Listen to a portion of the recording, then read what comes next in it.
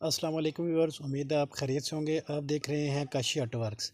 دوستو آج کا ہمارا ٹاپک ہے کہ جو سی این جی رکشہ ہے سی این جی رکشے کی جو مین شافٹ ہوتی ہے مین شافٹ کا جو بیرنگ ہوتا ہے وہ بیرنگ ٹوٹ گیا ہے۔ تو رکشہ چلنے میں رکشے کا بیرنگ جو آواز کرتا ہے۔ بیرنگ کو چینج کرنے کا طریقہ کار آپ کو بتائیں گے۔ تو دوستو ویڈیو کو آخر تک دیکھیے گا تاکہ آپ کو سمجھ آ سکے کہ سی این جی رکشے کی جو مین شافٹ ہوتی ہے مین شافٹ کا بیرنگ کہاں لگتے ہے تو وہ کس طرح چینج ہوتا ہے؟ تو دوستو دیکھیں جی اس کا جو بیرنگ ہے، یہ بیرنگ ٹوٹا ہوا ہے، یہ دیکھیں یہ چال آپ کو نظر آ رہی ہوگی۔ یہ دیکھیں دوستو، یہ چال آپ کو نظر آ رہی ہوگی۔ اس بیرنگ میں بہت سی چال ہے تو اس بیرنگ کو باہر نکالنے کا طریقہ آپ کو بتائیں گے۔ سب سے پہلے اس کے جو قابلے ہوتے ہیں، یہ قابلے کھولیں گے تیرہ نمبر کے اور سترہ نمبر کا جو نٹ ہے، یہ نٹ کھولیں گے۔ تو دوستو، یہ قابلے ہم نے پہلے ہی لوز کر دیے تھے۔ تو اب ہم اس کا جو تیرہ نمبر کا جو قابلہ ہے، یہ ایک قابلہ ہم کھولیں گے۔ یہ دیکھیں دوستو، یہ ایک قابلہ ہم نے کھول دیے اور اس کے بعد یہ جو دوسرا قابلہ ہے، اس کا یہ دوسرا قابلہ بھی ہم نے کھول دیے یہ دیکھیں، یہ تیسرا قابلہ بھی ہم نے کھول دیا ہے اور چوتھا قابلہ بھی ہم نے کھول دیا ٹھیک ہے دوستو، تو اس کے بعد اس کا جو سترہ نمبر کا جو نٹ لگا ہوا ہے، اس نٹ کو ہم لوز کریں گے۔ یہ دیکھیں دوستو، یہ نٹ بھی ہم نے لوز کر دیے تو دوستو، اس کے بعد اب ہم اس کا جو ہب ہوتا ہے، یہ اس ہب کو باہر نکالیں گے۔ ٹھیک ہے دوستو، یہ دیکھیں۔ یہ ہب ہم نے اب باہر نکال دیا۔ جب ہب اب باہر نکالیں گے تو اس کی جو مین شافٹ ہوتی ہے، یہ پیچھے سے اندر کی طرف چلی جاتی ہے۔ یہ دیکھیں دوستو، یہ ورکنگ کرتی ہے۔ ٹھیک ہے دوستو آئی ہوپ کہ آپ کو سمجھ آ گئی ہوگی کھولنے کا طریقہ۔ تو بہت ہی آسان طریقہ کھولنے کا۔ تو یہ دیکھیں دوستو، یہ ادھر سے اس کو باہر نکال دیے۔ ٹھیک ہے۔ اور اس کا بھی جو قابلہ ہے، یہ یہاں پر یہ دیکھیں، یہ قابلہ تک کھول دیے ناٹس کا۔ اور اس کو کھینچیں گے تو یہ دیکھیں، یہ باہر آ جائے گا اس کے اندر کٹ بنے ہوئے تھے، یہ دیکھیں۔ یہ نظر آ رہے ہوں گے آپ کو، کٹ۔ اس میں کٹ بنے ہوئے۔ یہ ہم نے باہر نکال دیا تو اس کے اندر یہاں پر یہ دیکھیں بیرنگ اس کا ٹوٹا ہوا ہے۔ یہ آپ کو نظر آ رہا ہوگا۔ اس کا بیرنگ باہر نکالیں گے۔ تو دوستو، یہ دیکھیں جی اس کے اندر جو بیرنگ ہوتا ہے، یہ بیرنگ اس کا بالکل ٹوٹ گیا ہے۔ یہ دیکھیں، گولیاں آپ کو نظر آ رہی ہوں گی۔ ٹھیک ہے دوستو، اب اس کو باہر نکالنے کا طریقہ آپ کو بتائیں گے۔ سب سے پہلے اس کا یہ جو لاک ہے، یہ لاک نکالیں گے باہر۔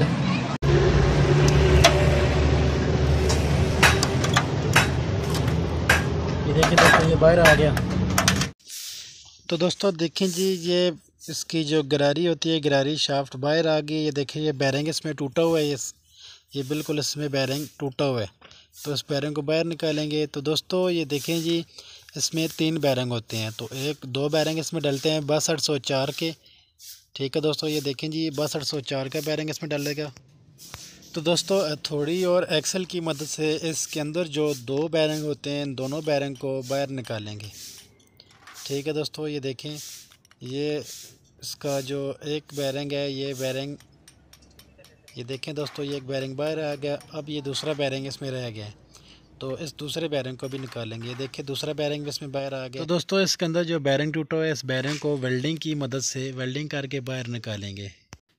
تو دوستو، دیکھیں جی یہ اس کا ہب ہوتا ہے۔ اس ہب میں ایک سیل ہوتی ہے، بیس چونتیس سات۔ دوستو، اگر یہ سیل اس میں نہ ہو، تو اس کا جو آئل ہوتا ہے، یہ آئل لیک کرتا ہے۔ تو یہ لگانی، لازمی لگانی پڑتی ہے۔ تو دوستو دیکھیں جی یہ جو ہب ہے، اس ہب میں جو بیرنگ ٹوٹا ہوا تھا، بیرنگ نکال دیا باہر۔ یہ بیرنگ اس میں نیا لگے گا۔ ٹھیک ہے دوستو، یہ دیکھیں، یہ بیرنگ اس میں ٹوٹا ہوا تھا۔ اس بیرنگ کا جو کڑا تھا، اس میں یہ ہم نے نکال دیا باہر۔ یہ دیکھیں۔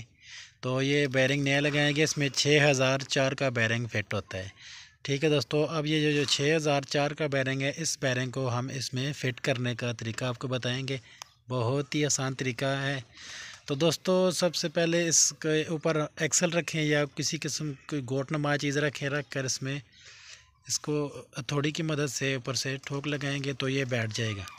یہ دیکھیں دوستو، یہ بیرنگ اس میں بیٹھ گیا، ٹھیک ہے؟ تو اب اس کے دوسری طرف جو بیرنگ ہوتے ہیں، یہ بیرنگ اس میں فٹ تو دوستو دیکھیں جی یہ باسٹھ سو چار کے دو بیرنگ اس میں لگتے ہیں اور اس طرف چھ ہزار چار کا بیرنگ لگتا ہے۔ تو دوستو یہ دیکھیں جی یہ باسٹھ سو چار کا ایک بیرنگ ہم لگائیں گے۔ تو یہ ہم نے ایک لگا دی ہے باسٹھ سو چار کا بیرنگ اور اب دوسرا طرف، دوسرا بیرنگ لگائیں گے، یہ باسٹھ سو چار کا۔ اس میں دو بیرنگ ہوتے ہیں، ٹھیک ہے دوستو؟ دو بیرنگ لگانا لازمی ہوتے ہیں۔ ٹھیک ہے دوستو؟ یہ دیکھیں جی دوستو، یہ بیرنگ اس میں فٹ ہو گیا۔ یہ دیکھیں دوستو، یہ بیرنگ فٹ ہو گیا اب۔ تو اب یہ دوستو، دوسری طرف بھی اس کا یہ دیکھیں، یہ بیرنگ ہے، یہ بھی ہم نے نیا بیرنگ ڈالا، یہ بھی فٹ ہو گیا۔ تو اب اس کی جو شافٹ ہوتی ہے، گراری والی، یہ شافٹ ہم اس میں لگائیں گے۔ یہ دیکھیں دوستو، یہ ہم نے اس کی گراری شافٹ لگا دی ہے۔ تو اب یہ جو اس کی گراری ہے، اس کے اوپر جو لاک ہوتا ہے، یہ لاک لگائیں گے۔ لاک لگانے کا بہت ہی آسان طریقہ ہے دوستو، جس طرح ہم نے کھولا ہے، اسی طرح اس کے اوپر لاک لگا دیں۔ یہ دیکھیں دوستو، یہ لاک ہم نے اس کے اوپر لگا دی ہے۔ یہ دیکھیں لاک لگ گیا۔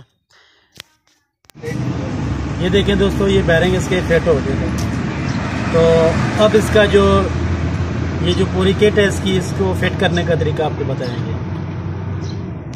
جس میں بیرنگ ہم نے لگائے تھے، یہ فٹ کرنے کا طریقہ آپ کو بتائیں گے۔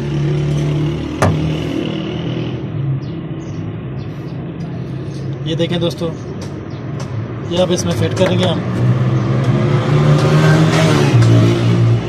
یہ اس میں فٹ ہو گیا، اس کے سوراخ برابر کرنے ہوتے ہیں۔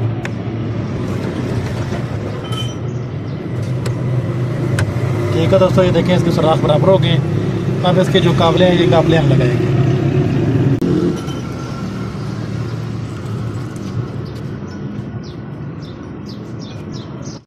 یہ دوسرا قابلہ بھی لگا دیا۔ اس کا تیسرا قابلہ بھی ہم نے لگا دیا۔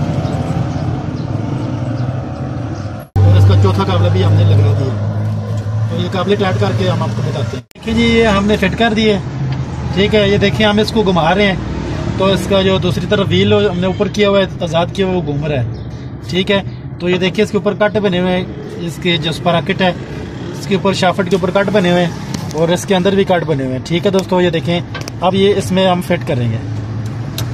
یہ دیکھیں، ہم نے فٹ کر دیا اور اس کا جو بولٹ نٹ ہے، یہ سترہ نمبر کا نٹ ہے، اس میں ہم لگائیں گے۔ تو دوستو، یہ دیکھیں جی یہ سترہ نمبر کا نٹ ہم نے لگا دیے اس کو سترہ نمبر چابی کے ساتھ ٹائٹ کرنا پڑتا ہے۔ ٹھیک ہے دوستو؟ یہ دیکھیں دوستو، یہ ہم شافٹ کو گھما رہے ہیں اور یہ ویل اس کا بھی گھوم رہا ہے۔ تو اس میں جو اس کا لاک پن ہوتا ہے، یہ لاک ہم لگائیں گے تاکہ اس کا جو سترہ نمبر کا نٹ ہوتا ہے، یہ نٹ لوز ہوئے اور کھلے نہیں۔ ٹھیک ہے دوستو، یہ دیکھیں جی اس کو دوسری طرف اس کا جو لاک ہوتا ہے، اس کو فولڈ کر دیں۔ یہ دیکھیں دوستو، یہ ہم نے لاک اس میں لگا دیے۔ تو دوستو، یہ دیکھیں، یہ ہم شافٹ کو گھما رہے ہیں، تو اس کا جو ویل ہے، ویل گھوم رہا ہے۔ تو اس کے جو تیرہ نمبر کے نٹ ہیں، اس کو تیرہ نمبر چابی کے ساتھ ٹائٹ کرنا پڑتا ہے۔ یہ ہم نے ٹائٹ کر دیے۔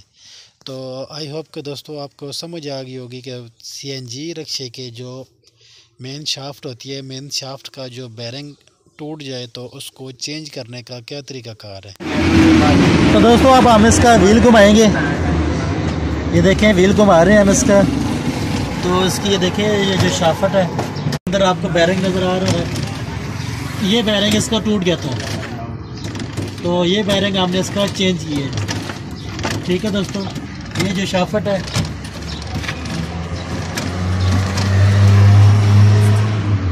یہ شافٹ کی وجہ سے اس کا، یہ دونوں ویل گھومتے ہیں اس شافٹ کی وجہ سے۔ اس کا بیرنگ ٹوٹ جائے تو یہ ویل جام ہو جاتے ہیں، چلتے نہیں۔ تو امید ہے دوستو، آپ کو آج کی ہماری سی این جی رکشے والی ویڈیو پسند آئی ہوئے گی اگر دوستو ویڈیو پسند آئی ہے تو دوستوں کے ساتھ شیئر کریں اور دوستو اپنی رائے کا اظہار بھی سیکشن باکس میں ہمیں کریں اور بتائیں کہ سی این جی رکشے کا بھی کام ہم کریں، اس کی ویڈیو بھی اپلوڈ کریں یا نہ کریں۔ تو اجازت دیجیے پھر حاضر ہوں گے ایک نئی ویڈیو کے ساتھ۔ اللہ حافظ۔